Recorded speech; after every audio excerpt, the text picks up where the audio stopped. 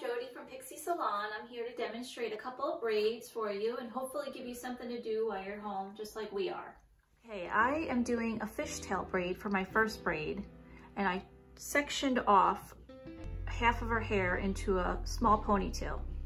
And I'm gonna section it into two pieces, split it in half, and then I'm gonna take a small section from the right side, bring it over into the center and onto the left.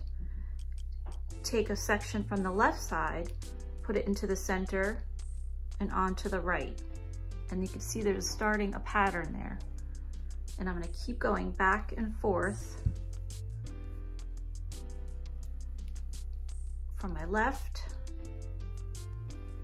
to my right. And then you can see that the hair on top is laying over with like a fishtail look.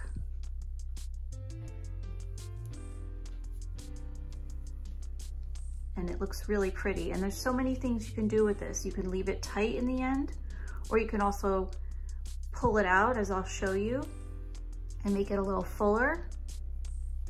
And then you can even put it into a bun. It looks beautiful. You just keep going back and forth.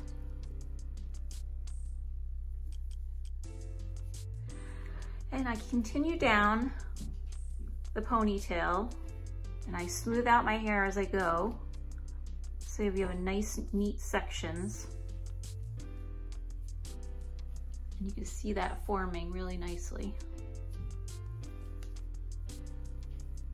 Okay, so I'm almost finished here. I have it all the way down to the bottom and I'm gonna get a ponytail, a little elastic, and put it in. And then I'll show you a couple different ways that I can work with this.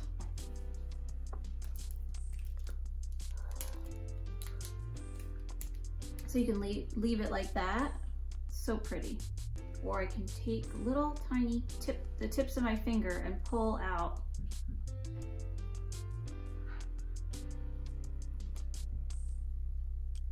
just to spread it out a little.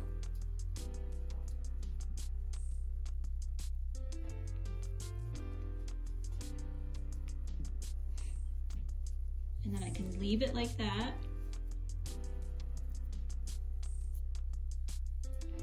Or I can add it into a bun like I said earlier.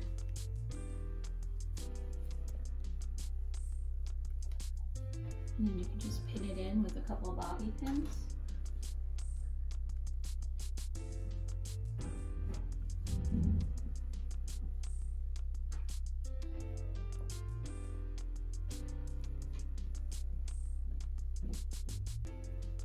And that's it. Okay, so this is my second braid. It's called an infinity braid. And I'm gonna section it off into two sections, just like the fishtail. But this time I'm taking a piece that is gonna travel around in a figure eight form. So take the piece, bring it into the center, and you're gonna go over and under. And then you're gonna go back to the center, over and under. And you can continue down, or you can just do a short amount of hair, just like this, to make the ponytail look cute and different.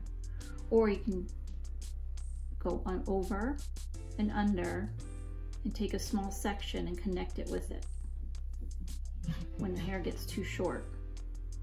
So we're gonna go over and under.